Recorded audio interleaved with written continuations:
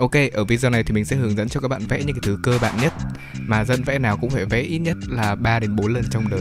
Let's go. Đầu tiên là khối hộp. Mọi người vẽ khung hình chung trước. Cái này mọi người mà có ảnh thì có thể đo theo tỷ lệ 11 cũng được nha. Đo để xác định vị trí của cạnh ở giữa, sau đó đo tiếp tới chiều cao. Xác định vị trí của hai cạnh hai bên, sau đó nối chúng lại với nhau. Nhớ là theo chiều không gian thì hai cạnh hai bên sẽ phải ngắn hơn một xíu so với cả cạnh ở giữa nhé. Xác định hướng ánh sáng trước khi đánh bóng nha.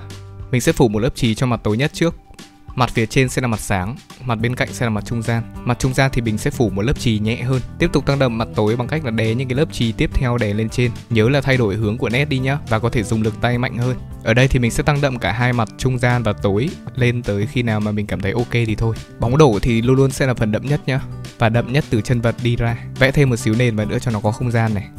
Tiếp theo sẽ là khối cầu. Mọi người vẽ hình vuông trước, xác định phần tâm bằng cách là vẽ những cái đường chéo và hình tròn này sẽ nội tiếp trong hình vuông nha. Xác định đoạn bán kính và đem đoạn bán kính đó áp sang những cái đường chéo khác. Từ những cái điểm đã xác định thì mọi người kể một cái đường vuông góc và đi qua những cái điểm đó nha. Nguyên lý khi mà vẽ đường cong là như thế này. Mọi người sẽ vẽ từ những cái đường thẳng ngắn nối lại với nhau để có thể thành một đường cong. Bây giờ thì chỉ ngồi uốn cong thôi. Nhớ là vừa xoay giấy vừa vẽ nha để có thể nhìn được hình tròn nó tròn nhất, xác định hướng ánh sáng và vẽ thêm cả phần bóng đổ cũng như là ranh giới sáng tối của hình.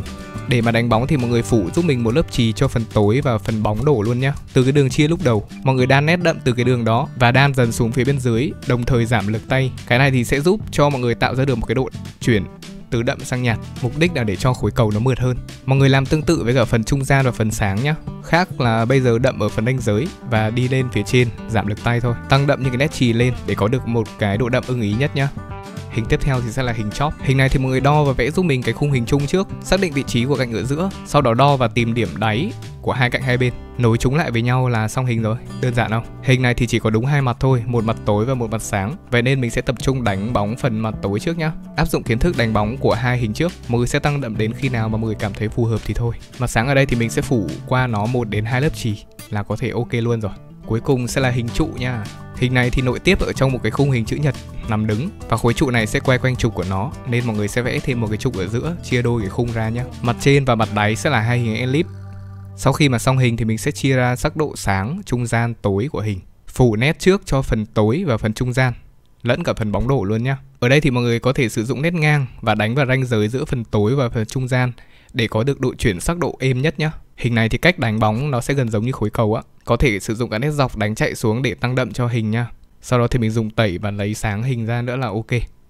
Cảm ơn các bạn đã xem video của mình.